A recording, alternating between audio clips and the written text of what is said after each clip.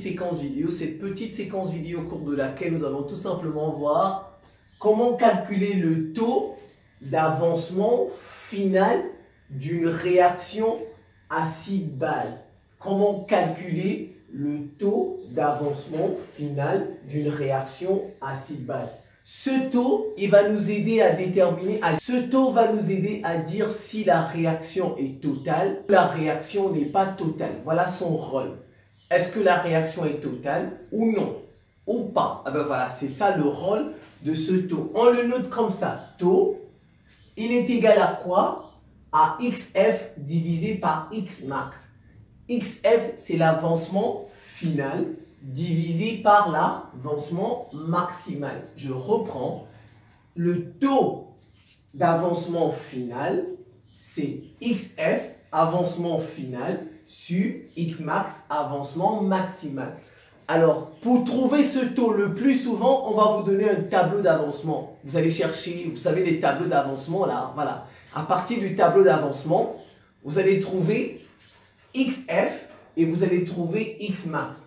généralement, je dis généralement, pour trouver XF, XF, quand il s'agit, je prends bien, je précise, d'une réaction acide-base. Quand il s'agit d'une réaction, on dit acido-basique aussi. Alors, pour trouver XF le plus souvent, on fait 10 puissance moins pH fois le volume.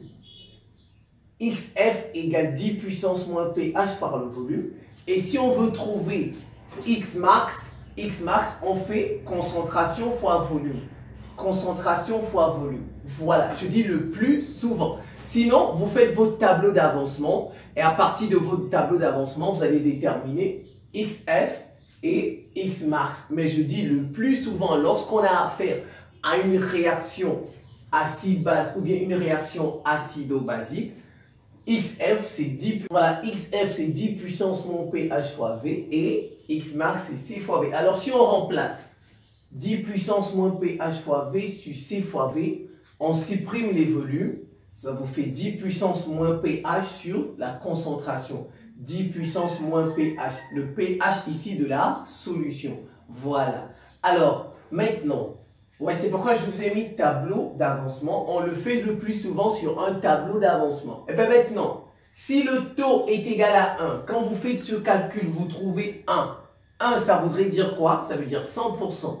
Ça veut dire 100%, ça veut en fait dire quoi? Que la réaction est totale. La réaction est totale. Et dans ce cas, dans ce cas, il s'agit soit d'un acide fort, et bien, soit d'une base forte. Donc je reprends taux me donne 1 ou 100%, la réaction est totale. Il s'agit soit d'un acide fort, eh ben, soit d'une base forte. Et si, et si maintenant le taux est inférieur à 1, le taux est inférieur à 1, c'est-à-dire inférieur, c'est-à-dire inférieur à 100%, on dit qu'il s'agit d'une réaction équilibrée. La réaction est équilibrée. On peut dire tout simplement qu'il s'agit d'une réaction limitée ou partielle. Limitée ou partielle. Et il s'agit d'un acide faible ou d'une base faible.